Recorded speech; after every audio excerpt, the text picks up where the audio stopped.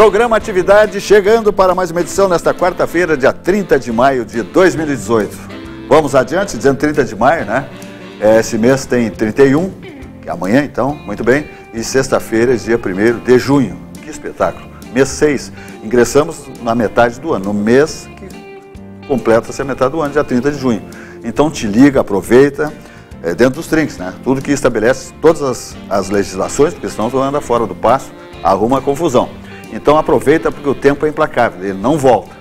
Isso aqui que eu falei tudo já não volta mais, então te liga porque a vida é única, ok?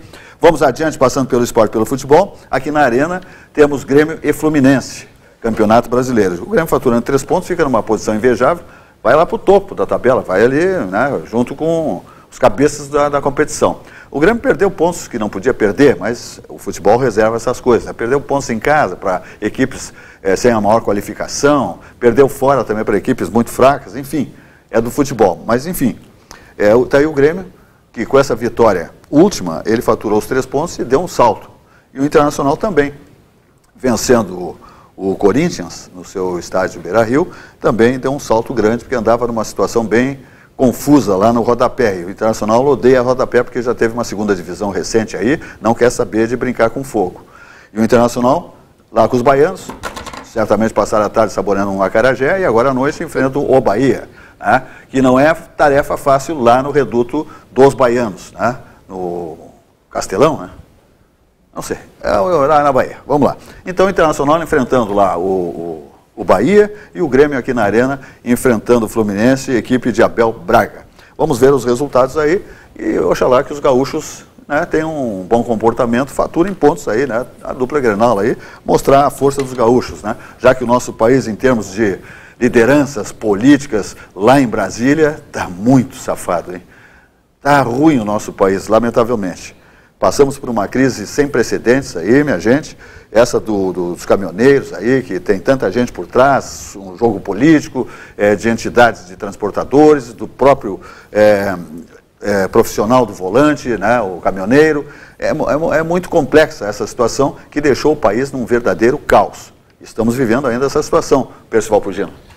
É, eu passei a semana passada, estive a semana passada recolhido lugar incerto e não sabido para conseguir terminar um, um livro, retiro, um fez um retiro. Eu, num livro que eu estou escrevendo. É, um retiro para trabalhar, mas trabalhar sossegadamente. Então, enquanto eu estava lá, começaram a acontecer uh, as paralisações e a coisa desandou para uma proporção como nunca eu havia visto na minha vida. Olha, vivemos momentos de enorme gravidade. Felizmente, parece que o Brasil freou à beira de um precipício. Estávamos chegando num precipício, nos aproximávamos de uma situação de caos, e no caos só se beneficiam os inescrupulosos, os bandidos, e havia gente que apostava nisso. Eu considero que não é uma conduta responsável, eu vou ser o mais moderado possível nas palavras. Né? Alguém apostar no caos, imaginando que do caos vai sair a solução. O Brasil esteve durante dez dias parado na beira da estrada. Não se faz isso com o país.